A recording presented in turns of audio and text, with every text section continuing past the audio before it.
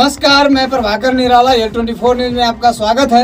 अल्पसंख्यक कल्याण मंत्री जमा खान ने बिहार के जनता से किया अपील, शराबबंदी में सरकार का करे सहयोग। खबर है, पटना से अल्पसंख्यक कल्याण मंत्री जमा खान ने कहा कि शराबबंदी सरकार ने कर दी, अब लागू कराने में प्रशासन का मदद करे जनता। और कहा कि अल्पसंख्यक समुदाय के जो लोग हैं, उनके बच्चों के लिए पढ़ने और उनके रहने के लिए स्कूल, कॉलेज और हॉस्टल को जल्द करेंगे चुस्त दुरुस्त, ताकि अल्पसंख्यक समुदाय के बच्चे फ्री में अच्छी तरह पढ़ सके और रह सके। वहीं आगे उन्होंने कहा कि हमारी सरकार ने तो खासकर पढ़ाई के लिए अच्छे कदम उठाए हैं, जो सभी बच्चों के लिए फ़ायदेमंद है। और खास बात यह है कि हमको मंत्री बन जाने से विपक्ष के नेता तेजस्वी यादव को ज़्यादा बेचैनी है। हम बोलते कम और काम ज़्यादा करते हैं। संवाददाता कुंदन मिश्रा का रिपोर्ट। प्राथमिकता क्या होगा? अल्पसंख्यक के लिए पहले से भी माननीय मुख्यमंत्री जी जो बिहार के विकास पुरुष हैं उनकी भी एक अच्छी सोच रही है।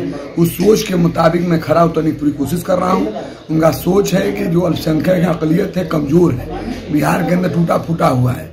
इसलिए वो जोड़ना चाहते हैं। शिक्षा से बहुत दूर है। इसको लेकर हमारे माननीय मुख्यमंत्री चिंतित हैं। उनको उन, उनका विश्वास मेरे ऊपर था। मैं आज आया हूँ पार्टी में और माइनॉरिटी मिनिस्टर भी हूँ। निश्चित तौर पर पूरे बिहार में दौरा कर रहा हूँ जिला वाइज। और जो अल्पसंख्यक का अकलियत का जो पहले से भी है जैसे आवासीय विद्यालय है। हर जिला के अंदर आवासीय विद्यालय करना है कोचिंग कराना है फ्री निःशुल्क करना है हॉस्टल रहने की व्यवस्था करना है। ये सारी चीज़ें हैं जो ज़मीन पे मैं उतार रहा हूँ। अभी तक चार जगह चार जिला में स्कूल यानी कॉलेज बन रहा है, उसके बाद और जो भी ज़मीन आ रहा है, बहुत जल्द मैं इसका क्लियर करूँगा, निष्पादन करूँगा कि हर जिला में एक विद्यालय बन जाए, हर जिला में हॉस्टल हो जाए। यहाँ तक जो रीढ़ का है, रीढ़ का पहले जो जितना था, उससे भी मैं बढ़ाने की कोशिश किया हूँ, लगभग प्रस्ताव पास हो जाएगा। यही सब लेकर मैं चल रहा हूँ। देखिए, जो पहले था, उससे मतलब नहीं, मैं इतना मुझे विश्वास है क्योंकि हमारे मुख्यमंत्री जी बहुत ही चिंतित है अकलियत के लिए। तो मैं दौड़ा जब करूँगा तो मुझे जानकारी हो जाएगी। अभी मैं सीमान समस्तीपुर में गया था कुछ अच्छा भी पाया, कुछ खराब भी पाया। जहाँ खराब पाया, मैं उसको मैं बुलाकर अधिकारियों को टाइट किया।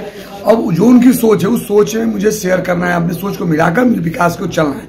क्योंकि हम लोग एक संघर्ष के उपज है, कोई विरासत के उपज नहीं है। मैं बी छात्र राजनीति किया, सफ़र तय किया, मैं यहाँ तक पहुँचा हूँ। तो मेरा एक ही सोच है विकास। निश्चित तौर पर इसमें कहने में हिचुआ नहीं कि मेरे समाज जो लोग हैं अकलियत माइनॉरिटी के लोग, पीछे तो ज़रूर हैं, शिक्षा से वंचित है, दूर हैं। उनकी भी सोच को पैदा करना होगा मुझे शिक्षा लेना है और शिक्षा की पूरी व्यवस्था बिहार के अंदर माननीय मुख्यमंत्री के द्वारा मैं करूँगा। सर जब इसलिए उनको ये जानकारी है कहना नहीं चाहिए हमको मैं आपसे कहता हूँ उनको ये जानकारी है दिल दिमाग में है कि जो माइनॉरिटी के लोग हैं उनके हैं वो एक तरह से कहिएगा तो अपना बनिहार बना इसलिए आज अकलियत सोचा है चूँकि ठीक है इससे पहले अभी जानते हम जानते हैं हमारे समाज का बच्चा पैदा होता था उसको लोग आरजेडी मानते थे उत्तर प्रदेश समाजवादी पार्टी मानते थे। लेकिन आप उठाकर नज़र देख लीजिए, कौन सा काम किए हैं? एमएलए एमपी बनाने का मतलब नहीं है, लेकिन काम क्या हुआ उनका? हर काम इनका अधूरा है। इनके साथ आज भी मुस्लिम ऐसा नहीं उनके साथ आज भी मुस्लिम है, मगर मैं इस चीज़ को, मैं जानता हूँ, अब मैं समझाऊँगा हर जिला में चल के, मैं समझाने के बाद इस बात को अकलियत के लोग माइनॉरिटी को समझ रहे हैं कि निश्चित पर अगर कोई विकास करेगा, उसका नाम है नीतीश कुमार जी। और सबसे पहले मुसलमानों को अकलियत का पसंद है कि हिंदुस्तान के अंदर यही एक नेता है जो परिवारवाद नहीं करते विकास तो जो होना है हो गया है। जो। आपने देखा इसे दो हज़ार पाँच से पहले जाइएगा नहीं यहाँ रोड नहीं था चलने की व्यवस्था नहीं था। आप किसी भी ज़िले से आते थे तो आपको दस घंटा बारह घंटा लगता था। मैं इस बात का चैलेंज करूँगा कि बिहार के अंदर किसी कोने से आइएगा पटना में मुझे लगता है कि पाँच छह घंटा में आप पटना में चले आइएगा। बिजली की व्यवस्था यदि कभी नहीं रही होगी रोड की व्यवस्था अस्पताल की व्यवस्था स्कूल की व्यवस्था मगर गलती कहाँ है? गलती हम लोगों की भी है गाँव के रहने वालों के मेरे भाइयों की भी है उनको भी ख्याल करना होगा। अब देखिए हड़कम मचा शराब को लेकर, शराब बंदी ने किया है तो उसमें सबको सहयोग करना पड़ेगा। तब होगा ना? इस दुनिया के अंदर बहुत बहुत लगा है कानून नियम लगा हुआ है। फिर वहाँ भी गलती होती है। अब जाइए अदर कंट्री में जाइए, बहुत जगह ऐसा है कि हाथ काट दिया जाता है, घर गर्दन उड़ा दिया जाएगा वहाँ भी गलती लोग कर रहा है। वहाँ भी कहीं ना कानून का उल्लंघन हो रहा है। तो आज शराब की हम, आज इस बात को मैं चैलेंज करूँगा किसी भी बिहार के कोने में, खुलेआम कोई शराब नहीं पी सकता है। ये तो मैं दावा कर सकता हूँ। लेकिन अब हम ही हैं, हमारे गाँव में हो, मैं न बोलूँ। मैं खबर न करूँ। तो कहीं कि हमको यानी एक तरह से देखा जाए तो आप पूरे बिहार वासियों से अपील कर रहे हैं कि हर जगह कानून को मदद करें। एकदम करें और खड़े रहें।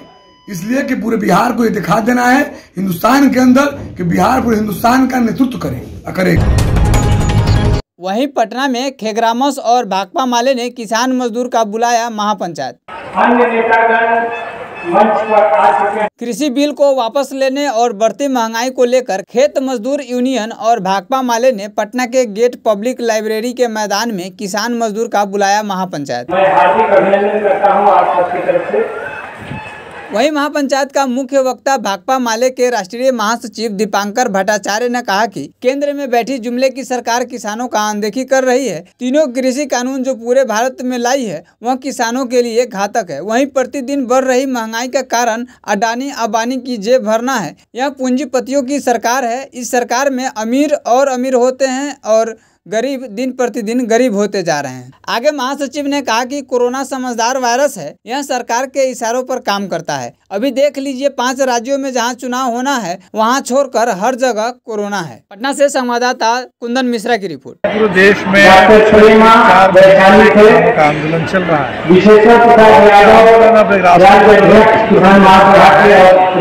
किसान आंदोलन की जो मांग है इसी मांग को लेकर के बिहार में भी आज ये किसान केंद्र सरकार ने कृषि दिया है किसानों को। जय नारायण यादव देश की खेती करने वाला और किसानों को गुलाम बनाने वाला कानून चाहते हैं कि जल्द से जल्द ये वो वापस हो। राज्य में 2006 से नीतीश कुमार ने एपीएमसी एक्ट बिहार के किसानों से फ़सल खरीदने का काम किसान को छोड़ दिया। कांग्रेस के अमरनाथ बिहार के किसानों से सबसे कम फ़सल बिहार में होती है। बिहार के अंदर एपीएमसी एक्ट कैसे बहाल हो ये हमारी मांग है। और ये जो चार महीने से आंदोलन चल रहा है छब्बीस तारीख को छब्बीस मार्च को। किसान संगठनों ने ट्रेड यूनियन ने मिलकर भारत बंद का ऐलान किया। हमारा पूरा समर्थन है इस भारत बंद के पूरे आह्वान को और आज के इस पंचायत से।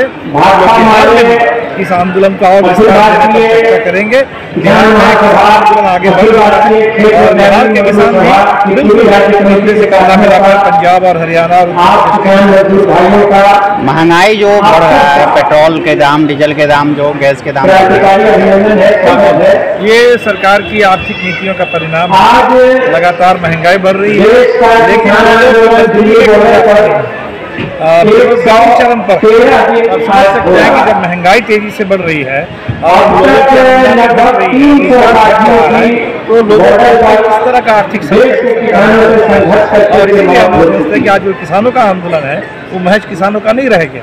ये किसानों के साथ साथ मजदूरों का भी। आज क्योंकि ये कानून पारित हो जाने से देश में जो भी है। खत्म हो जाएगा। कोरोना महामारी कोरोना महामारी जो और जो निजीकरण सरकार ने शुरू कर रखा है रेलवे का बैंक का कल और बैंक और बीमा भी हड़ताल पर है। भी एक ही साथ है कोरोना महामारी देखते हुए सरकार का जो मंशा लग रहा है लॉकडाउन होने का क्या लग रहा है? साजिश सरकार तो इस देश में फेल कर गया। गई और एक हो गया। हो गया। किसान नेता कह रहे हैं लापरवाही सरकार ने बरती।